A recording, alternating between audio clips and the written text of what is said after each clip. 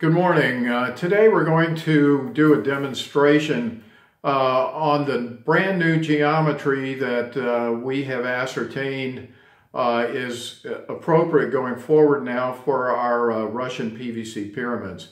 Uh, if you have not seen the previous video, which we've titled Russian Pyramids and Sacred Geometry, I'd suggest that you go and look at that if you want the details, but in summary, uh, after uh, finally finding uh, Dr. Golod's website last week and doing some research on um, uh, the research of uh, Dr.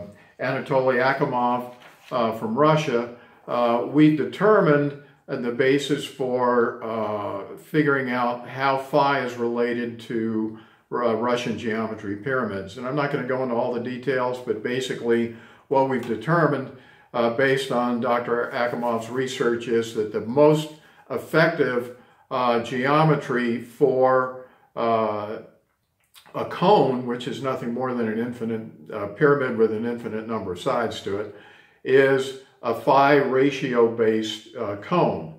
And when you think about it, that means putting circles that are progressively smaller into a pyramid and stacking them up. We've done that research, so go see that other video to talk about it. But what we're going to do now is to uh, demonstrate in the following segment. Uh, we've taken two uh, six-foot pyramids. Uh, we have uh, uh, modified one of them, and we have also maintained the traditional ratio of 2.02 on the other to show you the differential. as you'll see, the uh, differential in energy fields as measured by the Lecher antenna is quite dramatic. So uh, uh, look forward to your comments, but uh, watch the next uh, section of the video and you'll see what we're talking about.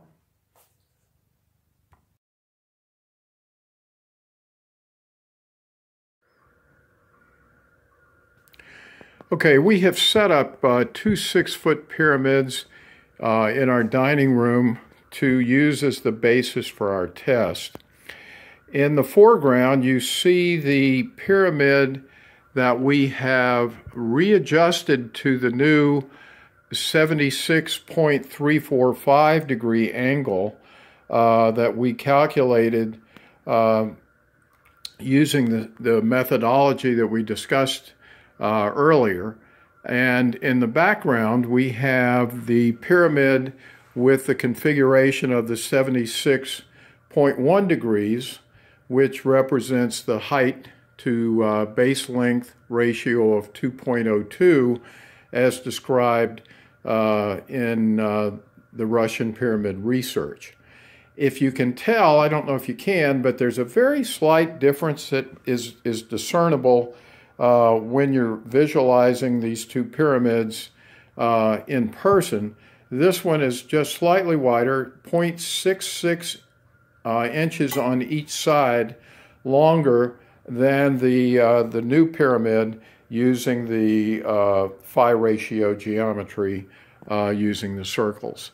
So there's also about an eighth of an inch uh, shorter height. Uh, it's actually uh, 15 one hundredths of an inch shorter on the length, and that's necessitated by the fact that the um, base is smaller and therefore uh, the length of the uh, vertical pieces needs to be reduced in order to keep it at six feet.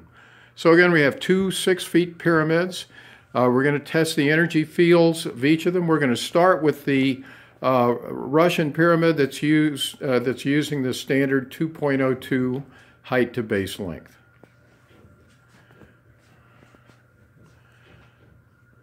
If you notice the uh, the energy field starts at about one third of the way down as uh, detected by the Lecher antenna.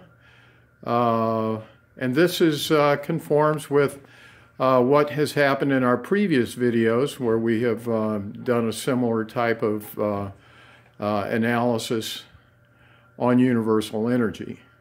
So again, coming at about one third of the way down, we're now testing on the inside of the pyramid and we can see uh, again the Lecher antenna just a little bit above halfway down uh, comes down.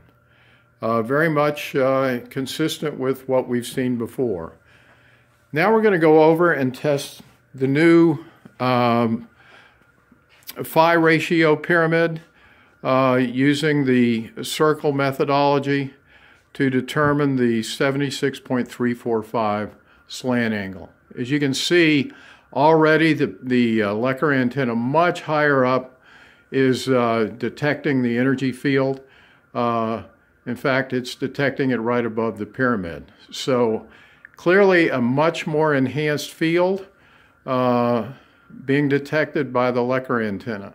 We're going to follow it all the way down and yep, much, much higher. Now we're going to go into the inside after the, testing the top of the pyramid, much, much more energy coming off of that pyramid. Now we're going to check on the inside and we're going to see, yes, the uh, Lecher is coming down at a much higher point uh, than it was in the other pyramid, demonstrating a much more robust uh, energy field. Looks like the uh, pyramid geometry of the future is going to uh, include these modifications. And uh, we're very excited about the fact that we have determined this enhancement that's going to make your pyramids even more effective going forward.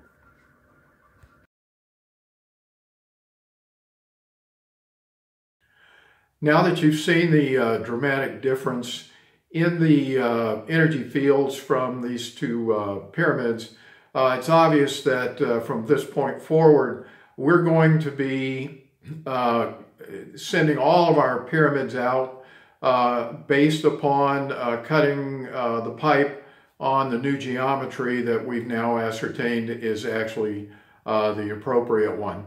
And um, what we're going to do uh, is I'll be posting a video as well in the near future for those of you who would like to take your existing pyramids and uh, uh, modify them to this uh, new geometry. we will be putting out some information in video form and also on the website on how to do that.